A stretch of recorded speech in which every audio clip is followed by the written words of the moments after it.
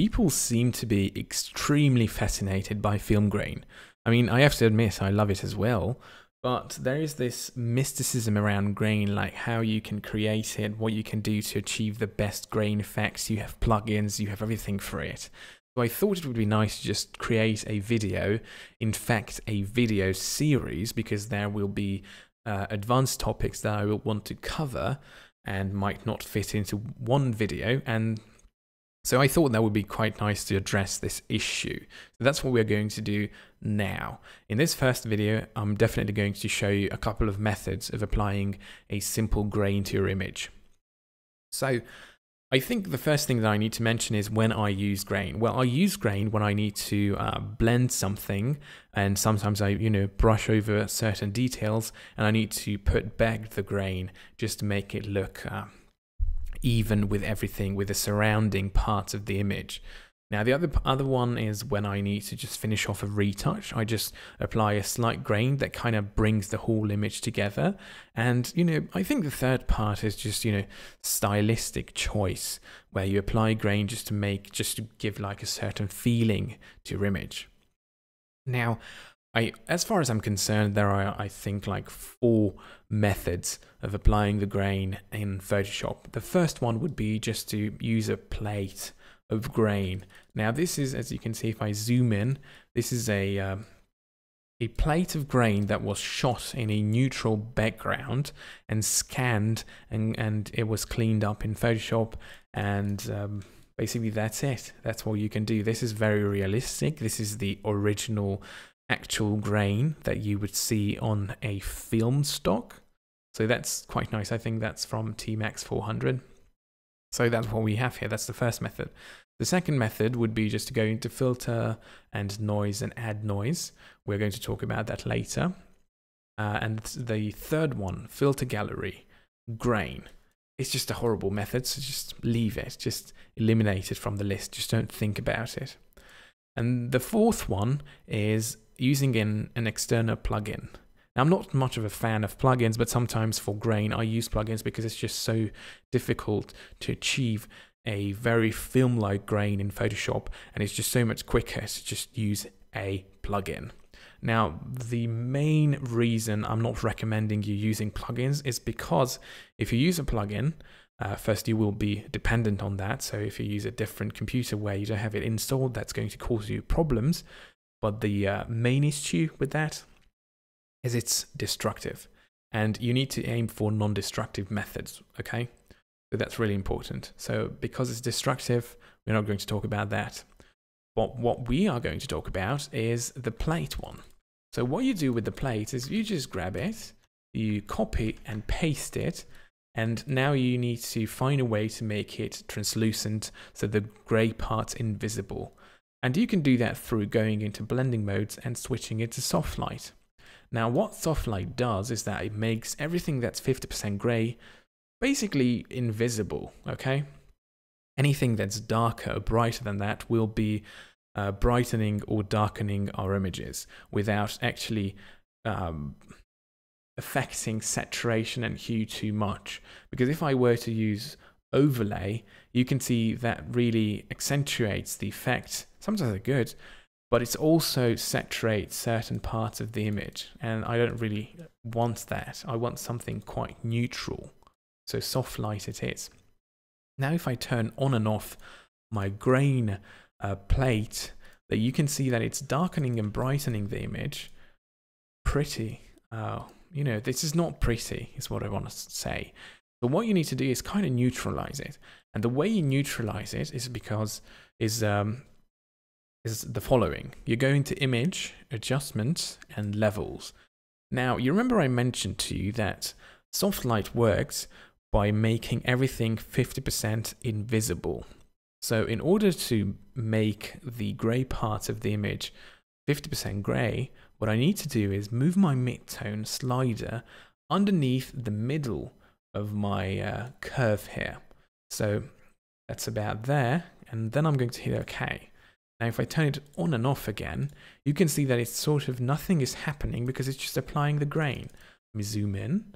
So on and off, and you can see that the tonality of the image is not changing, but we apply the grain, right? So this is one method.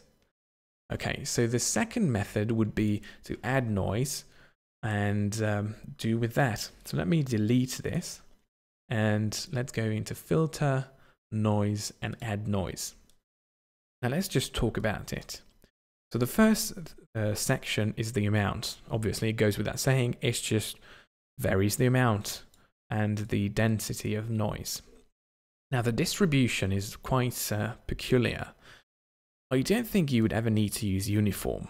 What uniform does is that it randomly places um, kind of like zeros and ones. So some grains are darkening it by, let's say, the value of 1, and other grains are lightening are lighter by the value of 1. So in that, you can understand that the tonality of the grain is not really changing. So it's it's always like 1 or 0. So it's always like darkening one value or lightening one value. And that's not good.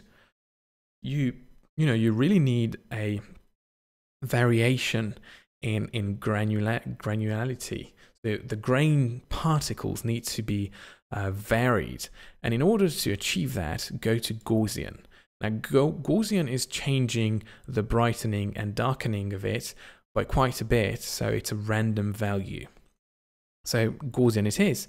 And then the very important part is to put it on monochromatic because if I don't do that, you get this uh, old uh, kind of a feeling, like almost like JPEG artifacts. And you don't want that. You need monochromatic. But if I hit OK now, it's a destructive method as well. So I'm not going to do that. I'm going to hit cancel and so and uh, teach you how to do it in a non-destructive way. But first, because I want to accentuate the stylistic choice of a grain, I'm going to make this image black and white just for the heck of it. Let's just go in, choose the black and white, one more contrast. I'm, I'm using gradient map by the way, but you can do whatever you want. And just keep in mind, the add noise does not have to be put on a black and white. I'm just making it black and white just to give a bit more interest to this. Okay, so now that we have a black and white, I want to apply my grain by using add noise. And to make it non-destructive, what I want to do is to create a empty layer and then hit shift plus F5 or go into edit fill and just put it on 50% and do the same thing. And then there you go. So now we have 50%. Now if I put the blending mode on soft light, you will see that it's invisible. So turning it on and off will do nothing because essentially that layer is invisible now. So let's just put uh, some sort of noise on it. So noise, add noise. And you can see that it shows up and it's translucent already because we have it on soft light.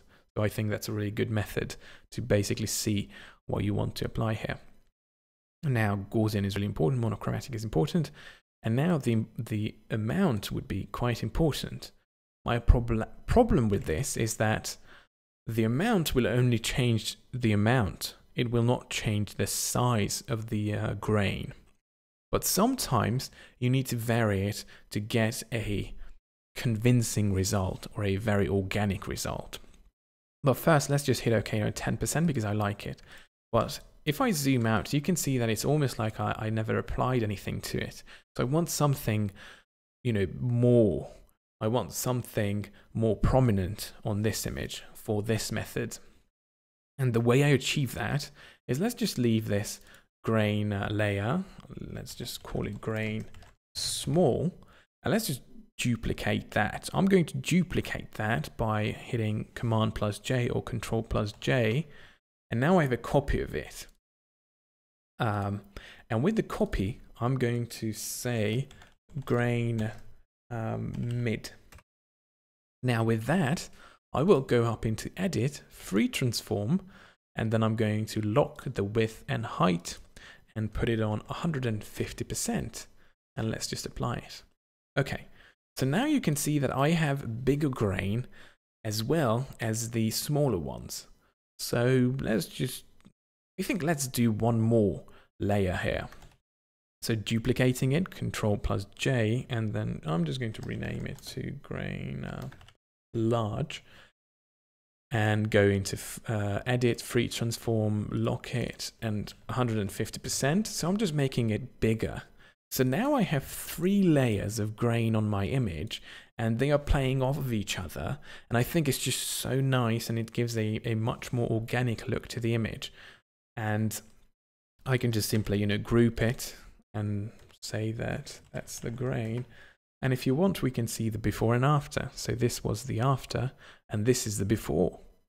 This is the after, this is the before. Let's zoom in a bit. And or after, before.